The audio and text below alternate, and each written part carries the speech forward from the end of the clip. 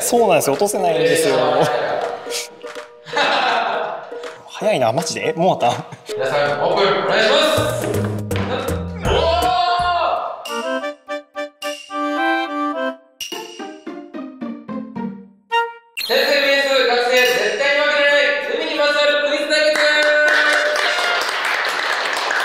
国立海や子海上技術短期大学校教務課の鈴木大輔です。広報海事英語を教えています、えーとても緊張していますが頑張りたいと思います。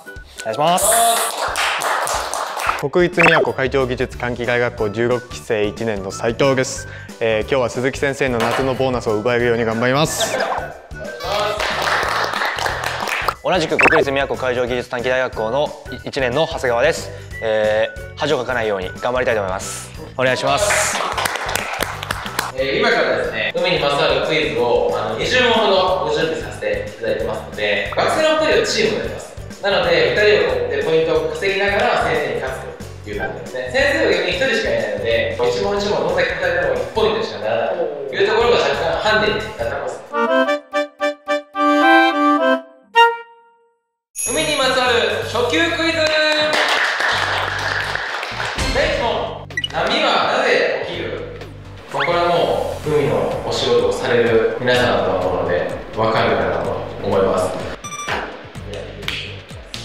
早いなマジで？もうた？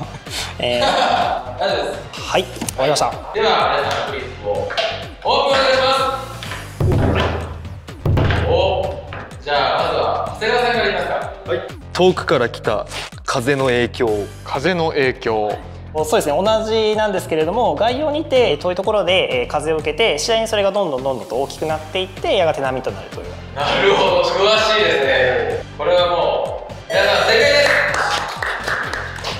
外洋の強い風に乗って生まれるのが波になります第2問海上における事件事故の緊急通報用の番号は何番だいらっしゃる方々はこれ分かるんだろうなと思って。ちょっと待って早いな。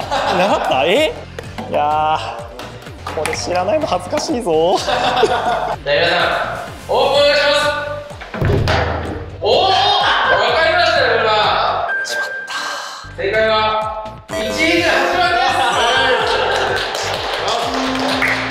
今4対1になりましたがそのまま初級編を続けさせていただいてどれぐらい点差が剥がれるのかでちょっと緊急助っ人田中先生を。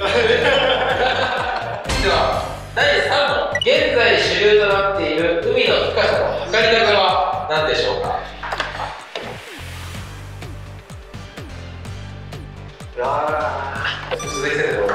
そうなんですよ。落とせないんですよ。まあ、なんか鈴木先生は知識があるがゆえにどれがどれがってなっちゃうような気はしますよ。よしこれでいきたいと思います。お願いしますおお超音波で測る。過去エコーサウンダー。えー音響促進機かっこエコーサウンダー、えー音波によって測る。おお海図にですね用いられると思いますので、えー海上保安庁の船があソナーを用いて、えー測定していると思います。なるほど。原理が一緒ですね一緒ですね。はい。皆さん正解です。危ない。これもちなみにあれですか？授業で学んだりするんですか？まあまあいやまさにやりました最近、はい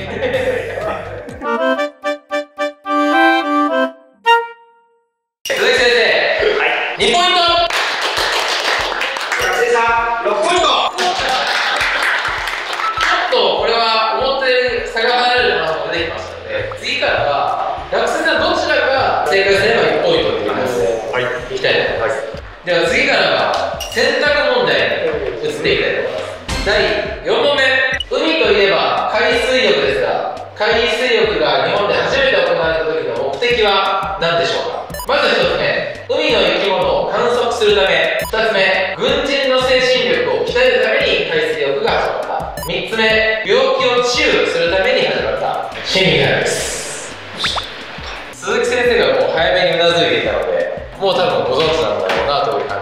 たまたま昔大学の講義で受けた時に習ってたので知ってました。じゃあ皆さんオープンお願いします。うわマジか。おおあ皆さん正解です。これ学んだいや学んだというよりなんか。学んではないですけど。なんかそうかなっていう。バカンスとかでよく海水浴はするんで。はい。あだから休むためになんか海水浴なのかなみたいな。第5問。日本の最も東にある島の名前はどれでしょう？南鳥島与那国島沖ノ鳥島。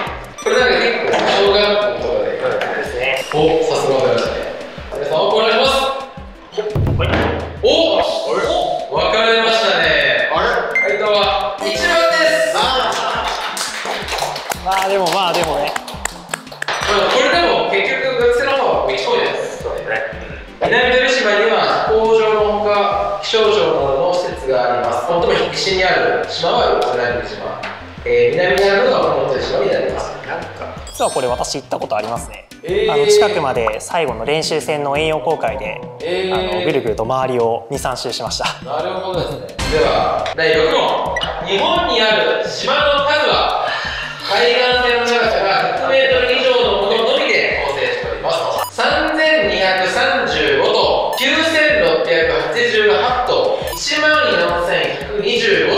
さあこちらいかがでしょうか皆さん。ご検討お願いします。これわかんないですよ。かけるしかない。多分これは知ってて損もしないそうですね。おお願いします。おおわかりましたね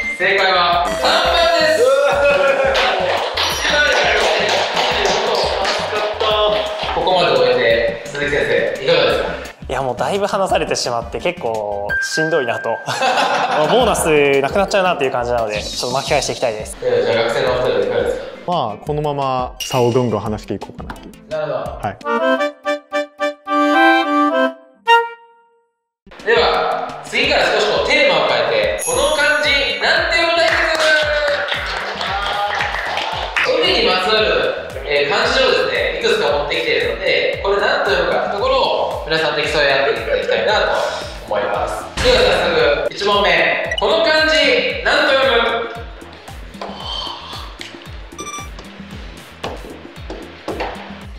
なんだっけ？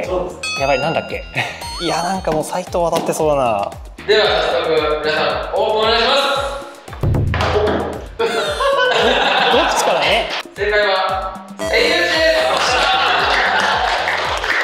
すではどんどんいきたいと思いますこの漢字何と読む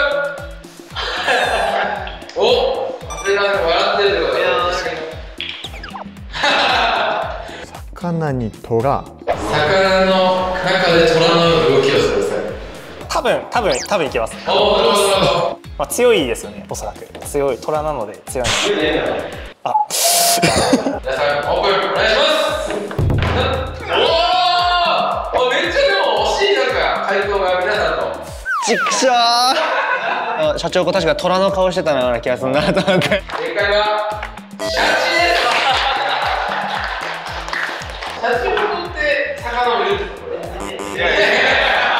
あでもそっかシャチまで合ってるわけか。おお。あでもすごい勘いいですね俺。す惜しいもうちょっとびっくりしました。第3問この漢字何と読むなんだろう。もう右でね推測するしかね。ではオープン。おおやっと分かりましたねこれは。獣編と貝でこれしか思い浮かばなかったのでこれにしました正解はラッコです。ああやった。やった危ない危ない。すごいですね。今のところ漢字全部合ってる。本当だ。じゃあ次の問題いきたいと思います。こちらの漢字何と読む。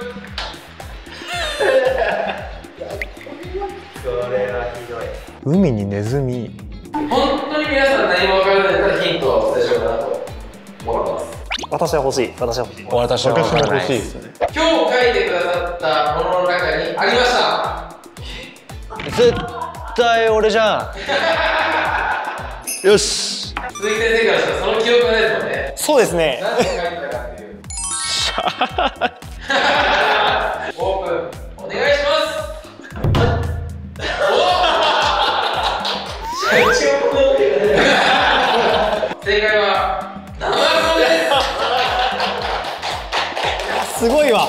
すごいまさかですわ。まさかでは一旦ここで漢字クイズ終了とさせていただきましょう。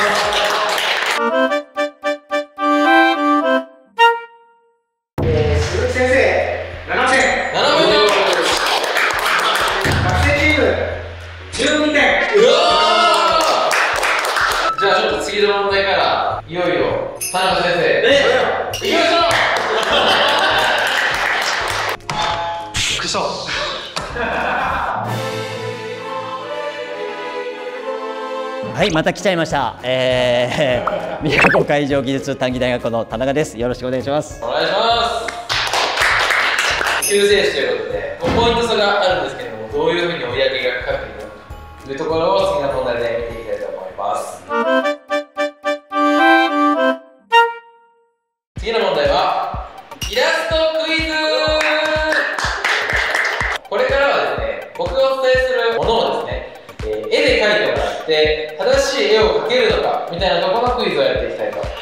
思いますちなみにあのこの団体では絵を描く授業とかあったりします？かあ全然ないですね。第1問錦穴子を描いてください知らねえ知らね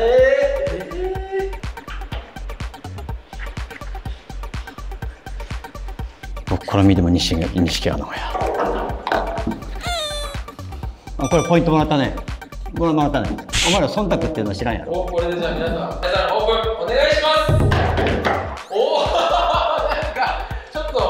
俺だけなだ。また生子書いてあっちゃうな。錦っていうんで、はいはいまあ錦蛇っぽいような、はいはいまあ穴穴子なんで、あとはニョロニョロしたもんで、はいもう思いっきり言ってるんで錦穴子だよって言ってるんで、もうこれは錦穴子ですよ。なるほどありがとうございますちょっと分かんなかったんですけど、まあ、穴子っていうので穴から出てきてるのかなっていうのとあそっちか。あとあと錦で同じなんですけど柄がついてるかなっていうところではい。はいこのようにしました、まあ錦なんで2色にしてでまあ穴子はまあ細長い魚ですよね。だからこんな感じで描いてみました。でも錦穴子だよって言ってないもんね。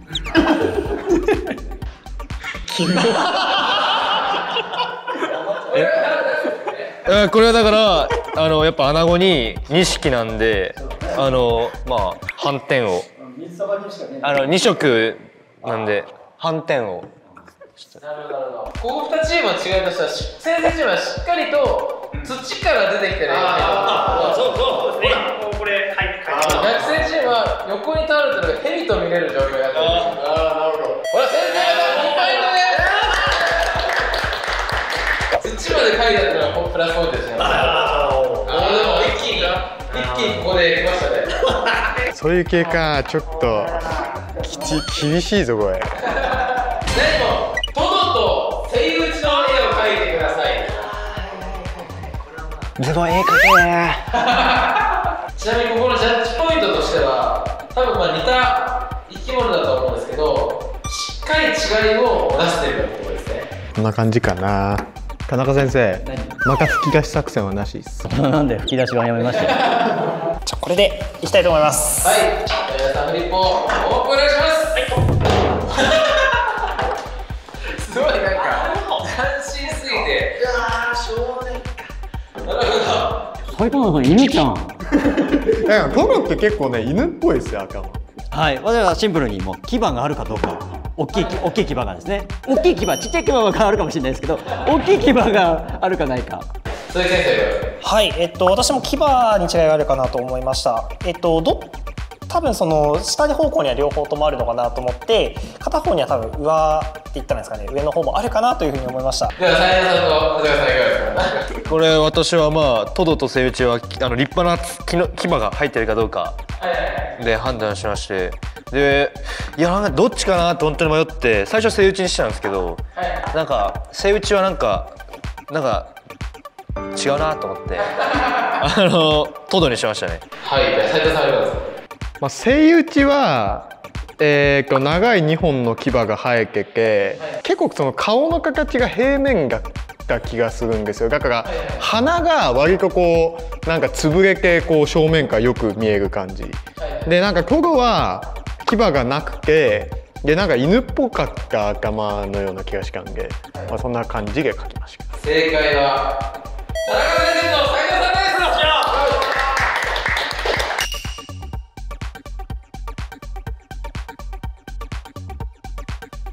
すラスト問題いきたいと思います日本地図をきれいに描いてください綺麗に。えー、むずいな あ、バランスが悪くなった。やばい。これ難しい。あ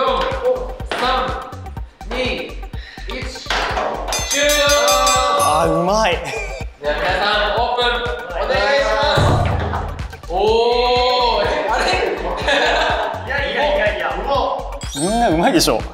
あこれあの北海道あの下ら辺に書きましああなるほど。たよくあるやつです。あの沖縄とかここら辺にあるよ。島国やからやっぱり能登とかさ。俺佐渡はちゃんと書きました。なんだあささ佐渡とかさ。いやこれはどうなるのか。決定しました。決定した。はい多分この問題の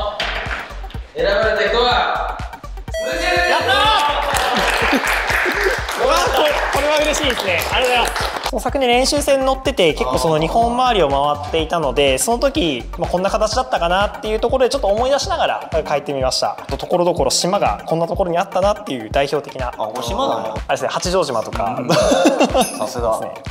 広報で教えたもんね。教えたからね。はい。あやったー。嬉しい。いいですねでは後半戦びっくりしたあわかった